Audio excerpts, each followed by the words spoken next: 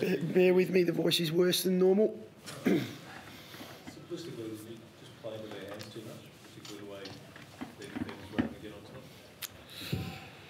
Um, statistically, you'll look at it and say, yeah, 30 intercept marks. Um, we knew that coming in. We knew that was going to be a challenge. And, and so, seeing that result and the way it played out, you say, well, they've done it in grand finals. They've done it in some of the biggest games that you face, and that's why they're top of the table, and that's why they're the best team in the competition. We had a lot of plans in place for how to combat that. Sorry about my voice.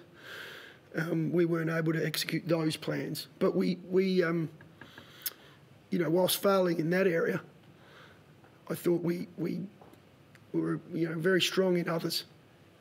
Unfortunately, against the best team in the competition or the best teams in the competition, you can't fail in, in areas to that level. Minus 30 or sorry, 30 intercept marks against.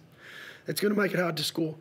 Which more, more the issue than the way the ball goes in or the way your forwards present themselves? It's a combination.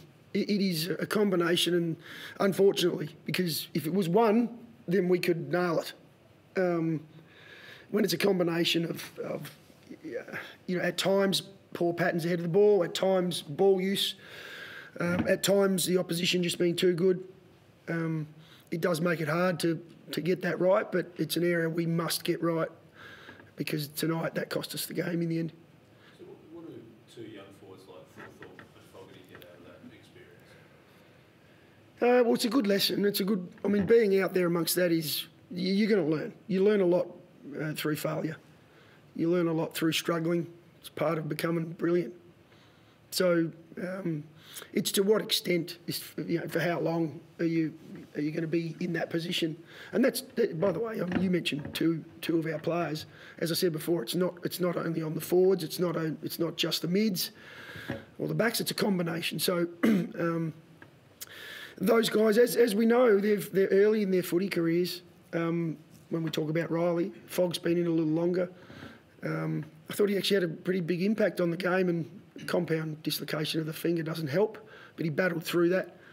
Um, it was quite ugly, to be honest. Uh, you know, to his credit, he stuck stuck at it and kept fighting for the team. But um, yeah, yeah, when you've when you've got a stat like that on the on the books at the end of a game, it, it, it's um, it's going to make it hard for everyone. How do you address it going forward? How, how specifically can you help next time around? Oh, we'll dive into exactly what it was tonight. We'll look at May and and the way he performed. I thought Tex and he had a great battle. I, I thought May played a, a, very strong game, but I thought Tex had his moments as well. And so there's a number of marks where they're, they're intercept marks one on one. Um, they're the times where you actually you know, nod the head and say, well done. I thought Tex, as I said before, I thought there are times where we were quite pleased with the way he competed as well.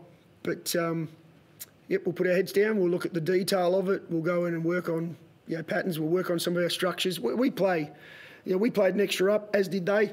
They played a couple of players up the ground high, so they were happy to give us an extra behind the ball as well. And in the end, it played out. They were better behind the ball than we were tonight. You dragged it back to five points early in that fourth quarter, and you mentioned there were some areas yeah. that you did like. What did you like tonight or today? Oh, I loved our, I loved our ticker. I love, you know, the fight that we bought. Um, you know, some would say I don't know what sort of game it came across as. I'm sitting in the behind the box the same as you guys are, but we took the game where we wanted the game. Um, in the end, it was was pretty well balanced between forward half, back half. Although when they had their time, they, they punished us a little more than we did. You know, and what I really liked was we gave ourselves the opportunities, and unfortunately we didn't capitalise on those. And that's where some of the, the intercept marks come in. Um, but no, really pleased. Our midfielders battered it out against the best in the comp. There's um, yeah, we had a discussion post game about their ability to balance inside outside. They beat us out the front. Petracca and Oliver and Viney are, you know, just the highest of quality. So um, talk about learnings. I think our mids had a great learn today. Although I thought Sam, you know, Berry was was great. Took another step. Um, yeah, Soligo got a little bit more time in there this week and adds another dynamic to us in around that that midfield. I know Ben Keays loves playing alongside these guys, as does Laddie. So Laddie had a tag up until half time and thought he fought through that well as well and played, you know, a really selfless role at times to keep us within five points. you know, in the last quarter. So some really, some really positive stuff to come out. Was it a class difference, do you think, then, as much as anything? Guys like Petracca and Oliver and Langdon are just able to take over those key moments. Yeah, I think there was definitely a an experience which brings class. Yeah, I often talk about the game being a little slower. The, long, the more you play, the longer you've, you know, 100 games in, the game becomes more predictable. You've been there, you've done that. Um, you, your body becomes more sound, stronger, you're more consistent. I thought that's what they were tonight. I thought they absorbed the pressure. I thought probably the standout area other than the intercept marks, they, they absorb pressure as good as I've seen this year, as good as we've seen this year.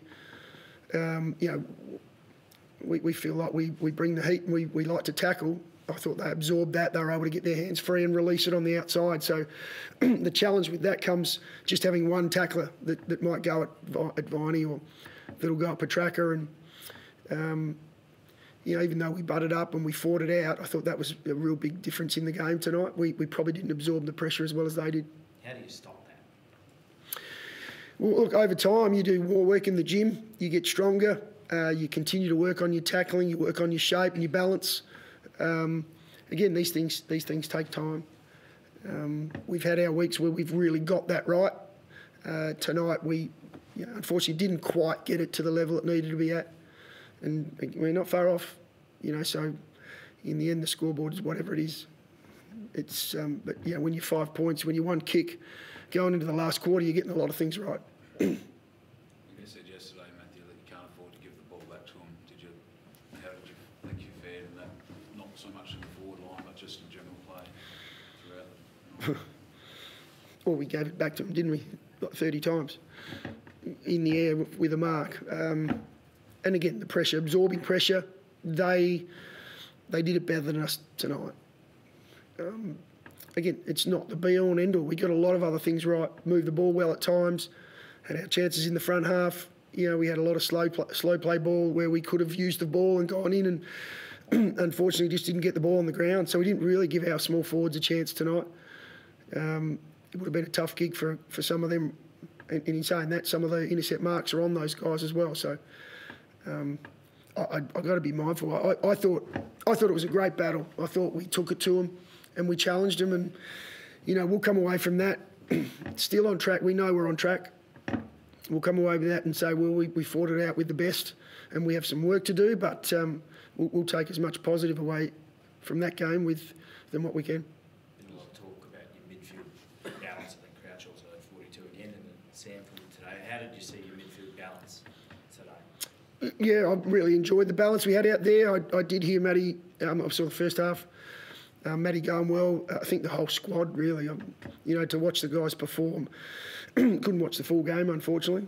But, um, you know, to see the way that squad's performing at the moment and to get a 10 or, or more goal win at an SANFL level is showing where our squad's at. Uh, Matty's a really important part of that too. And, you know, we've got others back there that are playing great footy. So, it's helping up. It's helping above, having that pressure from below is helping us perform and, and really drive our standard to, to another level. So really pleasing today. Bit of a few- sorry, just- no, I was just going to quickly ask about Dawson. Um, Simon Goodwin saying how much of a healthy discussion I think he described it in their box, particularly during the second quarter, the use of him. Um, Yeah. the impact early and then the second half. Um, what sort of issues were you talking about in the box? Um, just how to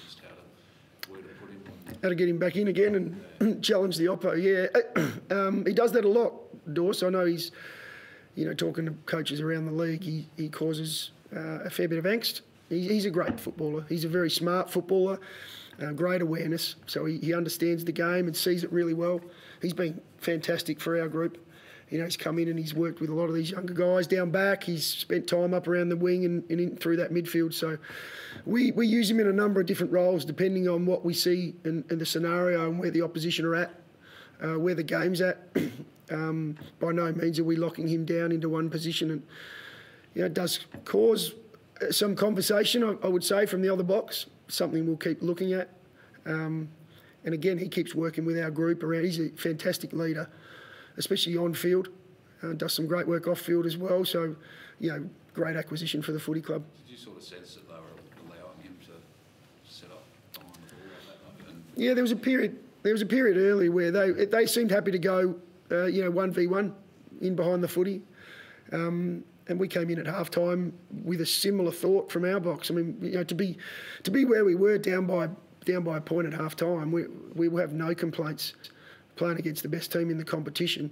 Um, we adjusted a couple of things into the second half, which we thought would get it on our, our terms, but in the end, it was it wasn't so much about structurally. It was their ability to be composed under pressure, um, their ability to hold shape as a group. You know, we discussed it coming in. They're they're a fantastic side. They trust each other and they've got great connection. How did you see the, the obviously lopsided ruck hit out? I mean, and do you feel like you, you capitalised as much as you would like? Yeah, it was a huge number. We, we probably saw that coming in. We, we, you know, we really rate Rob highly in that space, and we thought we'd get an ascendancy there. It was a matter of, you know, we're then putting it. Unfortunately, it, it does go to ground where they're extremely strong, um, and we knew that would be a challenge for us. We changed up that look a, a, fair bit during the game. I think they beat us by 20 with ground ball pre-clearance, know, which is a huge number, but it, it can often go that way when a team comes in and knows they'll be challenged in hit-outs. Um, you know, they'll take positioning uh, in a certain way. We've been able to do that in the past. We haven't won ruck, uh, you know, hit-outs and we've been able to win the ground ball, but tonight we didn't get that done. We, um, we also uh, have a whole lot of respect for our opposition tonight as well and understand what they do really well. Club obviously knew he was a very good player, but is Dawson going even better than what you expected when he joined the club as coach? No, no, not at all. I've got to be careful how I say that. He's going really, really well. Uh, we probably saw that before we, we that he came to the footy club. He's um, he was performing extremely well at Sydney. Um, a really important part of what they were doing, and we, we you know, we had a good look at that. um, but he is uh, he's, he's become a really important part of our, our football club. Recruit of the year across the cup? Oh, we're, we're really pleased. He's definitely our recruit of the year. All good, guys. I I was just going to ask, um, it feels like Wayne's taking more steps. Do you think that was his best game? Yeah, yeah, I'm actually glad you brought it up. Yeah, I, I think Wayne's, I think Wayne's slowly finding the speed of the game again. this is two years out, you know, and um, he's shown how important he is when we get that footy on the deck.